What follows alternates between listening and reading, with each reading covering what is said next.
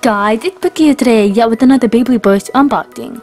So this is the Beyblade Burst unboxing starter pack of Valtryek V2. And this is the starter pack, and this is actually the second Vol Vol Valtryek, obviously, and it contains a ripcord launcher. And it's really quite small, but um, later in the video, I'll be showing you how to connect. Actually, I'm gonna, yeah, you know what, maybe I should make a video about that. Well, anyway, so I'm gonna show you how to connect a ripcord launcher with the grip with the super grip launcher. So first we're gonna check out the, the front of the box. Um, as always, there's a code right in the bottom of the Hasbro layer, and you can actually scan that in the Beyblade Burst app, and you get points, and then you get the layer. So track it shows you a chart of whatever it is. Pretty cool. Yeah. Alright, so we're gonna open it. I have opened the box and here's the instruction sheet ripcord and we have and also it's basically you know tied up. So you might wanna get that out. Uh,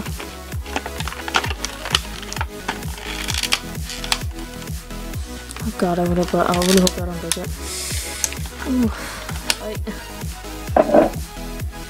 Alright, so we've opened the package and we can see that the Hasbro birthday they don't have teeth at all. So instead of just clicking it, it basically just slides in.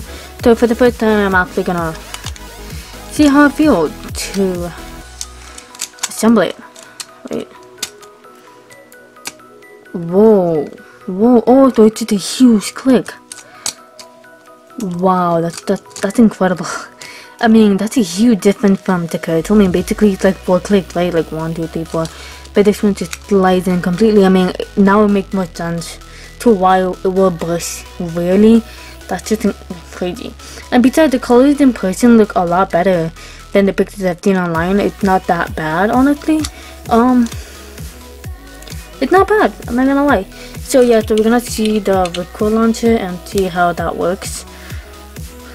Alright, so Quick launcher. Let me see this. Wait. So basically it's from the side now. And we're gonna attach this grip.